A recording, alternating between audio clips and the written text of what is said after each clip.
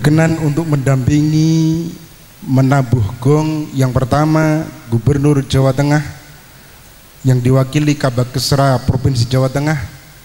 Yang kedua Bupati Temanggung beserta wakil juga yang terhormat Rois Suryah dan Keton Fidyah PWNU Jawa Tengah. Beserta Mustasar PWNU Jawa Tengah dimohon untuk naik ke panggung. Mohon maaf tidak lupa pula Kepala Kesbangpol Provinsi Jawa Tengah.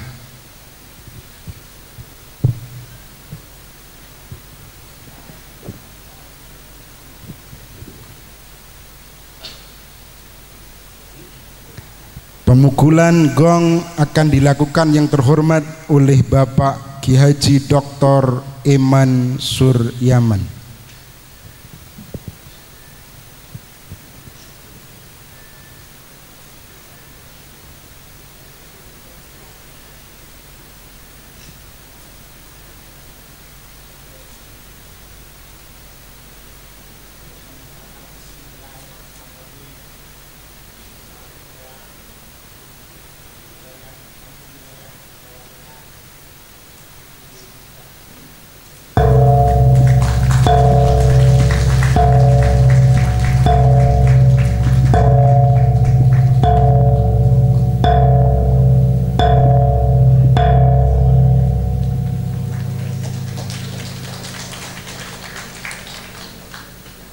Bapak Ibu yang kami hormati Menindaklanjuti acara yang berikutnya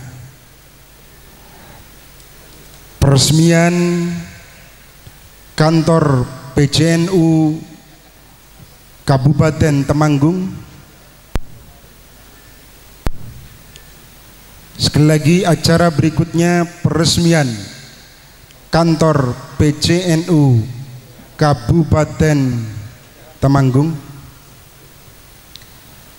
Pada yang terhormat yang pertama Bapak Kiai Muhammad Furkon.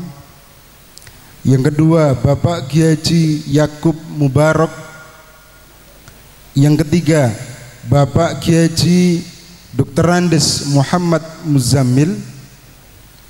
Yang berikutnya Horai Suryah PWNU Jawa Tengah yang terhormat Bapak Kiai Ubaidillah Sodakoh beserta Romo Kiai Yahya Khalil Stakuf dimohon untuk naik ke mimbar.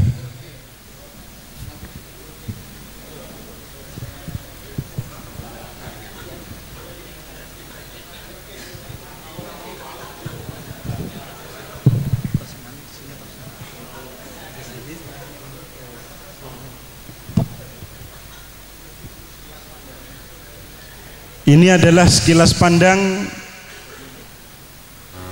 gambaran gedung baru PCNU Kabupaten Temanggung. Setelah ini nanti tamu beberapa perwakilan tamu dimohon untuk menyaksikan gedung baru PCNU Temanggung. Saking ngandap dan nah, nak kenginggil coplok mangke.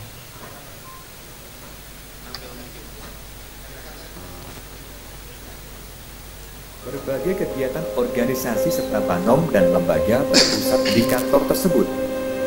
Mulai dari kegiatan pengajian Sekilas pandang gedung PCNU Kabupaten Temanggung. Terlalu layarnya dan pencahayaannya. Bismillahirrahmanirrahim. Berkat rahmat Allah Subhanahu wa taala Gedung Pengurus Cabang Nahdlatul Ulama Kabupaten Temanggung. Dibangun atas bantuan pemerintah Kabupaten Temanggung dan warga Nahdliyin diiringi doa dan selamat. Semoga bermanfaat diresmikan di Temanggung 26 Januari 2019 pengurus cabang Nahdlatul Ulama masa bakti Panom dan lembaga di kantor tersebut, 2014-2019 mulai dari kegiatan pengajian Ketua Tanfidiyah Kiai Haji Muhammad Furqon. dan lembaga serta kegiatan penyiaran radio Niaga Suara Nawakartika atau Santika FM sejak April 2014. Rois Suriah Kiai Yakub Mubarak Pengembangan berupa pembangunan gedung PCN Temanggung dimulai sejak April 2018. merestui pengurus wilayah Nahdlatul Ulama Jawa Tengah Ketua Tanfidiyah Bapak Kiai Haji Dr. Andes Muhammad Muzammil Kabupaten Temanggung sejumlah 7 Rois Suriah rupiah. PWNU Jawa Tengah Kiai Haji Ubaidillah Sodakoh mengedepankan aspek keindahan yang elegan. diresmikan pada tanggal 26 Januari Januari 2019 oleh pengurus besar Nahdlatul Ulama Katib Am Kiai Yahya Khalil Stakuf dan mampu mensinergikan semua elemen organisasi NU di Kabupaten Temanggung.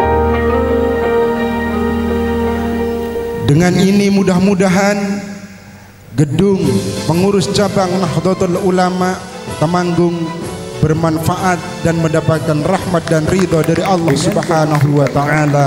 Amin amin. Allahumma amin. Tampak gagah di tengah lalu lintas kota dengan background view Gunung Sumbing dan Sindoro sebagai ikon Kabupaten Temanggung. Berperan sebagai etalase, lantai satu merupakan gerai yang nantinya akan menjadi penggerak ekonomi organisasi pada umumnya dan mengakomodir produk-produk kreatif dari warga Nahdiyin Kabupaten Temanggung untuk dipasarkan